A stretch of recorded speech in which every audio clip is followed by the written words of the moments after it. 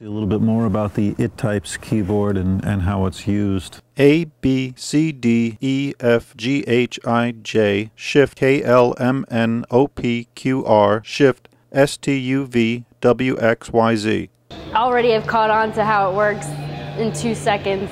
It does everything. That's the whole key keyboard in a little bit of box. That's just amazing. It's so small and it's just compact compared to giant phones and other typing things. I think it's great. I mean, it's really smart. I think it's fantastic. Very, very clever idea indeed. I think it's just genius. Once you've understood the keys and everything, it, you can type really fast with this. It's wonderful for somebody who's blind and can't see the keyboard. I think that's a great invention. Evolve input technology into something you don't have to look at or talk to.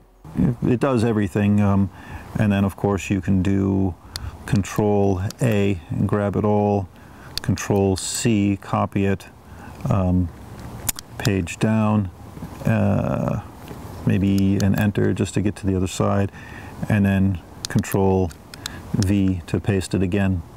Uh, it does um, everything you normally do on a regular keyboard, uh, but with many fewer keys. It's really cool. It's very cool. I don't like touch screens and I like to push buttons a heck of a lot better, so I like this a lot. I think it's a great concept because once you learn the keyboard, which apparently they've already learned, I think it's a much safer alternative.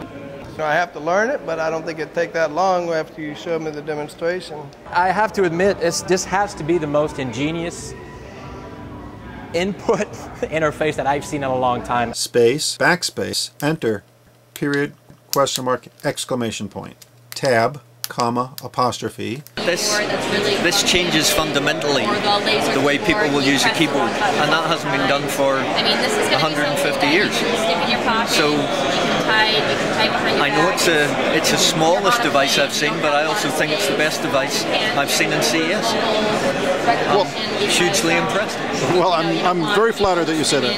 Excellent. Well done. This is the coolest thing I've seen here so far. So far, this one I think is the most novel, interesting device I've seen. But the concept is absolutely amazing. There's a great deal of need in this country for this, and I encourage you to move forward with this project. I hope this gives you a little bit more information about the, uh, the interface that we're trying to propose and uh, hope that you will help us and support this technology. Thank you.